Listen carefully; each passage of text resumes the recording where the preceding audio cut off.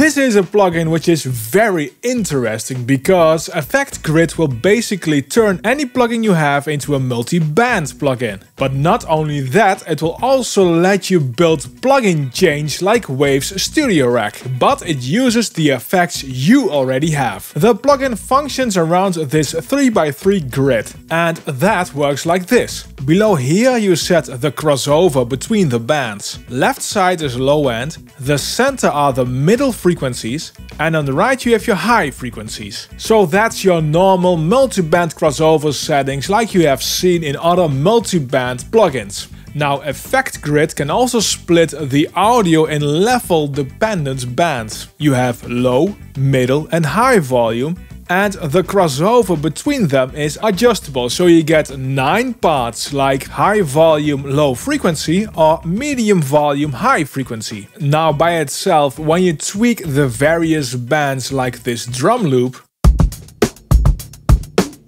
you can get something like this.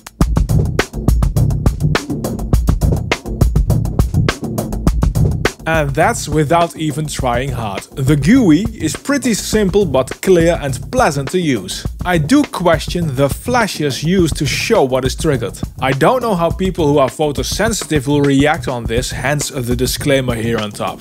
You can choose from different skins which is nice and with a dark skin the flashes are even more present. You need to set up this plugin when you want to use effects and you really want that. I choose VST3 and the plugin will scan all of your plugins, which can take a little while depending on how many plugins you have. A simple multi-band effect will be done like this. Let's do multi-band compression on drums. First step is to remove the volume crossovers by pushing them all to the top and bottom, which only leaves the middle band. I'll insert three instances of Elysia's mpressor. So now I have this compressor on three separate bands and I can adjust each band with compression and change the crossover.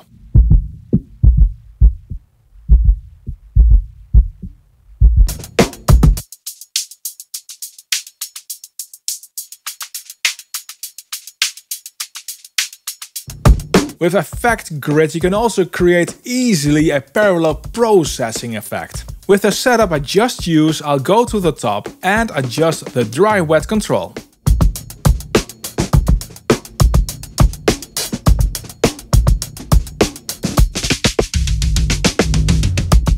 The mpressor doesn't have a mixed dial, so this is now also fixed.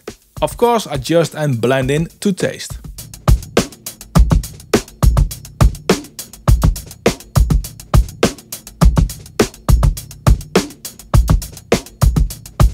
I couldn't find an option to fully reset all parameters, which would have been nice and also a manual cannot be found. It is not CPU light on my AMD test rig.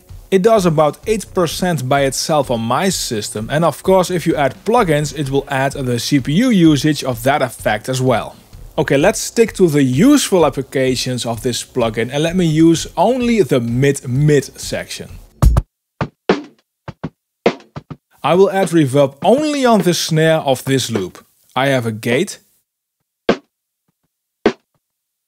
some saturation,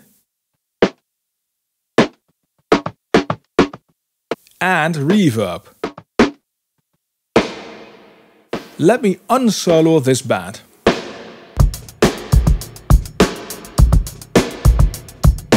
It's really easy to add an effect on a specific band like this. You can create with some clever routing a setup which does exactly the things I showed before, but it will be nowhere as quick or as flexible. I also focused for this video on some practical mixing tool related examples. And you can imagine you can get very creative with Effect Grid as the basis.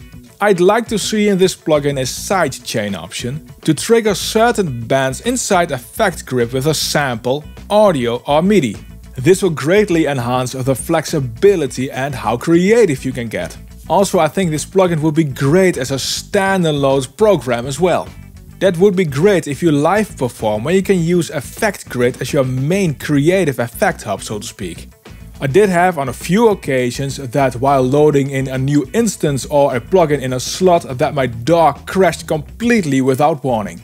But I will give the developer some slack though. The two behind the plugin truly have something great in their hands which will really help you in mixing. So I'm looking forward to future updated versions. If you want to add effects on the transient or sustain only, check out the video which is displayed on screen and linked in the description below. I'll see you in that video.